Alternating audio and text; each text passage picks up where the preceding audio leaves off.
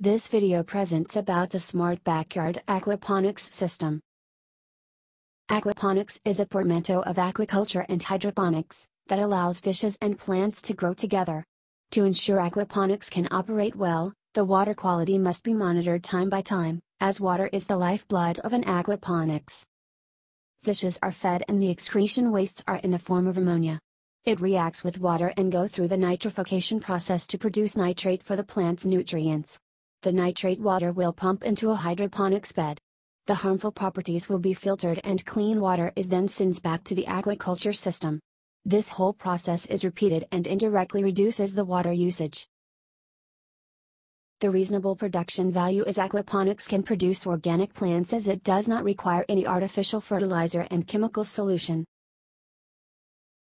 Secondly, everyone can self-sustaining and producing own food by obtaining an aquaponics system. Thirdly, safe, healthy and friendly environment can be established as the water is recycled through the system without drain to groundwater. Next, it will show how to monitor and control the aquaponics system. This video shows the operation of aquaponics system. This system started with the feeding fish cycle. There are total 6 rotation, which rotate 3 clockwise and 3 anti-clockwise. Once the feeding cycle is finished, the sensor started to detect the water quality. The pH sensor detects the pH value is 6.02. Calcium hydroxide is added into fish tank to make the pH of water out of range. The pH value now is 8.55.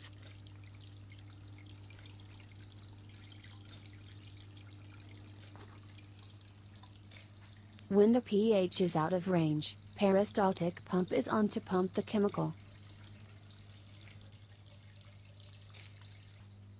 A message sent out to alert the owner. The temperature sensor detects the temperature is 24.12 degrees Celsius, which in range. To make it out of range, hot water is added into tank water. Now, the water is 35 degrees Celsius. A message sent out to alert the owner that the temperature is out of range. Let's see what will happen if the water sensor is in dry condition. A hair dryer is used to dry water sensor.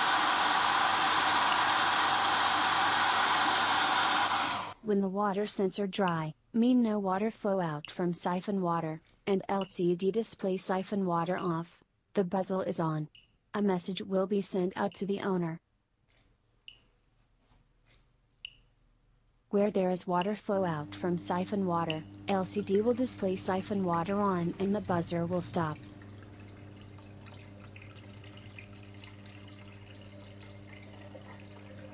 When the remaining time for next cycle is finished count, the feeding cycle started again to feed the fish.